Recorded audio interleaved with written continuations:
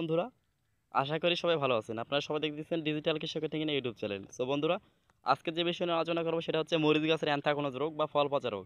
আমরা এটাকে বলি ফল পচা। আসলে আমাদের যে দেখেন যে সুন্দর মরিচগুলো এই দেখেন এই মরিচটা কত সুন্দর, ভালো আছে। কিন্তু দেখেন এই যে, এটা আমার পড়ে গেল, এটা আমি আপনাদের দেখাতে পারতেছি না। দাঁড়ান, আরেকটা মরিচ দেখেন এখানে। এই যে, একেবারে পচে গেছে এটা, শুকিয়ে একদম পচে গেছে। এটা হচ্ছে মরিচের অ্যান্থ্রাকোনোজ রোগ এটার আক্রমণটা কীভাবে হয় বা এটা কোন কারণে রোগটা হয়ে থাকে আমাদের জমিতে? এটা অতিরিক্ত গরম। দিনে গরম, রাতে শীত, একটু শিশির শিশির ভাব, তখন দেখবেন এই রোগটা জমিতে আক্রমণ করে। আর অবশ্যই এলো পাতার ইউরিয়া সার প্রয়োগ করলে এরকম রোগটা আক্রমণ দেখা দিতে পারে জমিতে। সো বন্ধুরা, আসলে আজকে এই রোগটা যে কারণে হয়ে থাকুক না কেন, এটার প্রতিকার কি সেটা নিয়ে আজকের মূল আলোচনা। আশা করি সবাই আমার ইউটিউব চ্যানেলটি সাবস্ক্রাইব করবেন এবং পাশে থাকা অল বেল অ্যাকাউন্টে ক্লিক করে রাখবেন। আর ভিডিওটি পুরোপুরি দেখবেন। কেটে কেটে দেখলে কিন্তু আপনারা সবাই অবশ্যই বুঝতে পারবেন না। তো বন্ধুরা রিকোয়েস্ট থাকল আপনাদের কাছে যে ভিডিওটি পুরোপুরি দেখবেন, কেটে কেটে দেখবেন না। তাহলে বন্ধু, মূল আলোচনা শুরু করে দেই। এ দেখতে পাচ্ছেন মরিচ গাছের অ্যান্থাকোনো রোগ ধরে গেছে এটা। এটা আমাদের দুইভাবে ধরতে পারে। একবার দেখতে পারবেন যে আপনার যে মরিচ গাছের এখানে দেখতে পাচ্ছেন, এই গাছটা শুধু ফলে ধরছে। মানে আপনার যে কাণ্ডগুলো থাকে, এই কাণ্ডগুলো ধরেন নতুন কাণ্ড। একেবারে এরকম দেখবেন যে কাণ্ডগুলো ভেঙে একদম পচে গেছে। দেখবেন একদম সুন্দর করে। এই যে এখানে আরেকটা গাছ দেখতে দেখতে পাচ্ছেন? এই যে এই কোয়ালিটি হতে পারে। এটাও একটা অ্যান্থাকোনো রোগ এই দেখেন, এত এই পর্যন্ত গাছটা কিন্তু ভালো আছে। দেখেন সতেজ, সুন্দর। কিন্তু এই যে জায়গা দেখেন যে গাছটা একেবারে ভেঙে গেছে। পচে একদম ভেঙে গেছে। এটাই কিন্তু অ্যান্থাকোনোজ রোগের আক্রমণ। আর এই যে দেখতে পাচ্ছেন মরিচ গাছে, মরিচের অবস্থা। প্রত্যেকটি মরিচ পচে পচে গেছে। এটা কিন্তু হলে আমাদের প্রত্যেকটি মরিচ যখন আমাদের গাছে থাকবে অনেকগুলো, তখন যদি এই রোগটা ধরে, অবশ্যই কিন্তু আমাদের লস হয়ে যাবে। কৃষকরা অনেক লসের হার দেখতে পাবেন, অথবা লস গুনতে হবে। কিন্তু এইটা থেকে আমরা প্রতিকার পাবো কীভাবে? সো বন্ধুরা, এটা থেকে প্রতিকার পাওয়ার উপায় বা কোন গ্রুপের কীটনাশক বা কোন কোম্পানি বা কোন কীটনাশক দিলে এই রোগ থেকে আমরা প্রতিকার পাবো সেটা হচ্ছে প্রপিকনাজল গ্রুপের ছত্রাকনাশক। এটা আসলে ব্লাস্ট একটা রোগ মানে অ্যান্থ্রাকোনোজ এটা ব্লাস্ট রোগের মতো, যে পচা রোগ।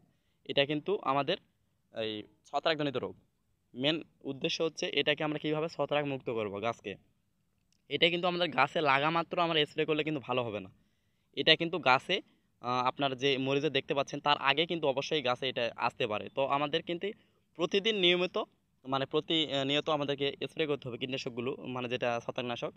প্রপিগণাজল গ্রুপের ছত্রাকনাশক প্রতি লিটার পানিতে জিরো দশমিক পঁচিশ মিলি থেকে এক মিলি পর্যন্ত। জিরো দশমিক পঁচিশ মিলি দিতে পারবেন কখন যখন দেখবেন আপনার গাছের বয়স অনেক কম যে এক থেকে দেড় মাস আর এইগুলো গাছের বয়স হয়ে গেছে অনেক বেশি। এটা আপনার তিন মাস পার হয়ে গেছে। তো বন্ধুরা, এইগুলো গাছে অতিরিক্ত শক্ত হয়ে গেছে বা এটা অনেক বয়স সহনশীল এবং অনেক ওষুধ মানে যদি আপনারা যেটা মাত্রা আছে, তার মাত্রা অতিরিক্ত দিয়ে থাকেন অবশ্যই কিন্তু গাছের কোনো ক্ষতি হবে না। আর অল্প বয়সের গাছের দিলে কিন্তু আপনার গাছের পাতা কুকড়িয়ে যেতে পারে বা ক্ষতি হতে পারে। তো বন্ধুরা, খেয়াল রাখবেন যে এইগুলো গাছে প্রতি লিটার পানিতে জিরো দশমিক পাঁচ মিলি থেকে এক মিলি পর্যন্ত প্রতি লিটার পানিতে দিয়ে সাত দিন পর পর স্প্রে করতে হবে। যে প্রপিগণতর গ্রুপের ছত্রাকনাশক। সঙ্গে আপনারা কার্বেন্ডাজিম যোগ করতে পারবেন।